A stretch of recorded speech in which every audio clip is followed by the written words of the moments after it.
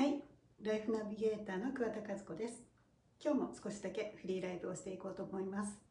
今日はですね、一貫性というお話を少ししようかと思うんですけれども、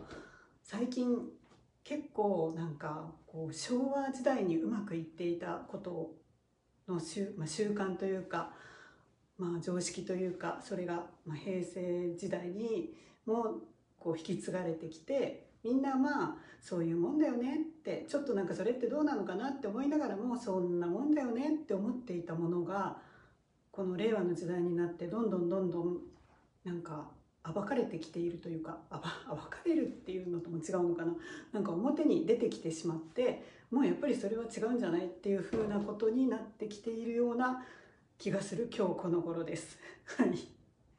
言ってる意味わかる？そう。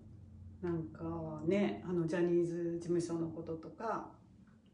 吉本興業さんのこととかいろいろ出てきているじゃないですか。なんかなんでしょうねほとんどの人が、まあ、ほとんどの人かどうかわかんないけど、まあ、多くの人がまあそういうもんだよねとかそうそこはそういうふうに忖度するもんでしょっていうふうに思っていることがどうもそれがもう通じないというか違うんじゃないですかっていうのが表に出だすというかね、まあ、そういう時代になってきたかなと思います。はい、こんばんは。えー、今日なんか特にやっぱりあのメディアがすごくこう変わっていってる時代なんか時代の変わり目だったかなっていうような感じがあって落合陽一さんもツイッターでねなんかそんなことつぶやいてましたけどやっぱり大手メディアテレビあのテレビの地上波とか新聞とか雑誌とかそういうところが取り上げないものをネットのネットテレビでもってこう自前でやっていくみたいなことがねすごくこう出てきてでまあ今までだったらやっぱりすごく大きなプロダクションとかっていうところにはねあの記者さんだったりテレビ局にでテレビ局の人だったりテレビに出てる人とかもちょっとそこはやっぱりここでこんな大手になんか言っちゃったらまずいんじゃないかみたいな ことで言わなかったっていうのがねもうこう 多くの人たちが知ってしまっていて隠されなくなってきたっていうような感じなのかなというのを、まあ、このところ感じております。えー、本当にやっぱり時代の変わり目っていうのはいろんな部分で出てきているなと思うんですけどちょうどね2000 2008年とか2011年12年11年ぐらいかあの頃にねあの2008年って 急に星の話になりますけど冥王星がヤギ座に入った時なんですね。2011年の3月って天王星がお羊座に入ってでまだまあ冥王星はそのままずっとヤギ座にいるんですけどこう今土星もヤギ座に入ってきてで天王星はお牛座に変わってすごいねこの2019年とかまあ2018年から始まってるんですけど2019年2020年ぐらいって。そうそう2020年は木星もヤギ座に入りますからヤギ座にね天、えー、と冥王星土星木星ってね集まるんですよ。ちょっとねかなり大きなピークみたいな感じなんですね、まあ、そんな感じでいろんなものがすごくこう隠れていたものが表に出てきているところなんだなっていうふうに思っております。でまあ一貫性の話なんですけど、えーまあ、構造心理学の中で個性を妨げるもの個性を発揮するのを妨げるものとしていろいろあって7つの制約条件っていうのがあるんですけどね、まあ、その中で、まあ、2トップはブロックと処世術なんですけれども、まあ、それ以外にもいろいろある中でこの一貫性っていうのがあるんですね。でうまくいったことをうまくいくと人ってもう一回つやろうとするじゃないですか。でそれをずっとずっとずっと続けていくことによって、えー、外側外側が変わってきている環境とか変わってきているのに前のままのものをずっと続けていったりするとこう合わなくなっていったりとかするっていうのがまあ一つありますよね。それから、うんと、そのうまくいったものをずっとずっとずっと続けることによって他のうまくいく可能性が全滅になるみたいな潰されてしまうっていうようなものもあったりします。まあ、そういう意味でですね一貫性なんかブレブレは良くないと思うんですけどブレブレって良くないと思うんですけど一本筋が通ってずっとそれをやっているからといって必ずしも良くない。いいばかりではないっていうことなんですね。まあそんな ところです。はい。あとですね今日この 謎が解けたかもってちょっとこうコメントコメントとかタイトルに入れてるんですがこれ何の話かというとですねまあ明日参議院議員選挙あるんですけど私今日あの期日前投票にさっき行ってきました。で、まあ、まだね行かれてない方もいらっしゃると思うんですけど私いろいろこう政見放送を見たりとか実際に演説を聞きに行ったりとかそれはまあ応援している人もそうだしそうじゃない人のも聞いてみたりとかいろいろしてるんですよ。でねそんな中でちょっとまあなんかすごい疑問点があってなんかすっごい盛り上がってるんだけどなこれはどう一体どういうことなのかなっていうのがねずっとあるのが一つあってですねそれはあの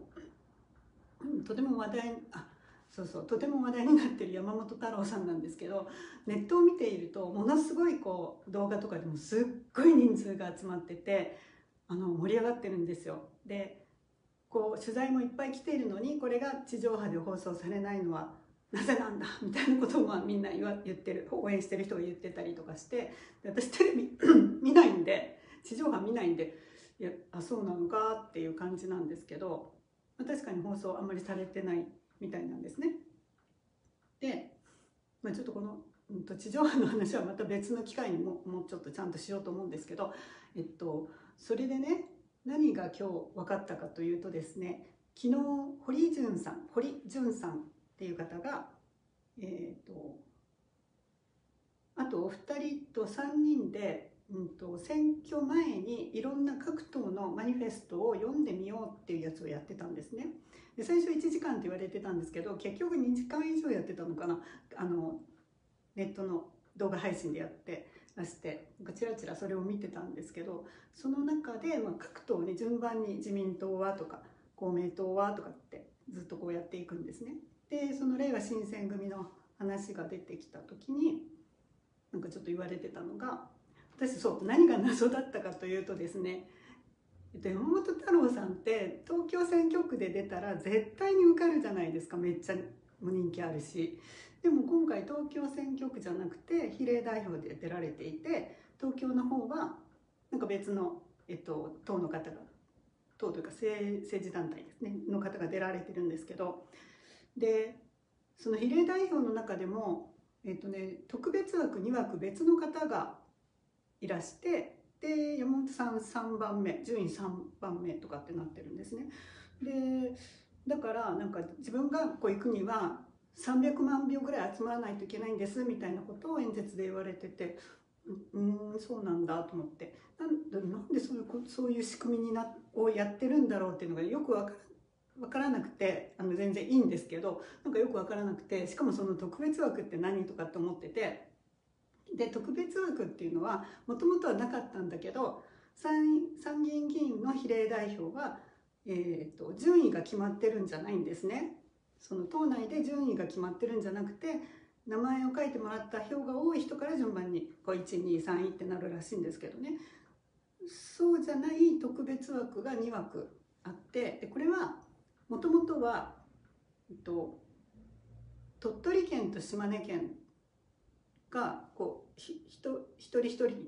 小選挙区制で一人一人ってなってたところを合同にしたのかな。だから一枠減ってしまったんですね。あともう一つはえーと、どこだったかな。四国の高知とかなんかあの辺りの2つの県を1つにしてっていうのがあってまあ一人一人減ってしまったのでその一枠一枠の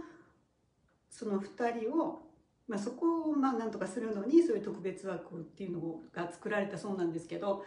で今日も比例代表行ってきたらね確かにねあの自民党特別枠2人令和新選組2人ってなってました。でそうだからもともとはそういう感じで作られたものらしいんですけどねなんでそういうふうにしてんのかなっていうふうに、いろいろ説明されてるんですけどどうもいまいち私よく分からなくてでいろんな動画見てたらある方たちはいやなんかああやってたくさん票を集めてで実際にまあ1人とか2人とか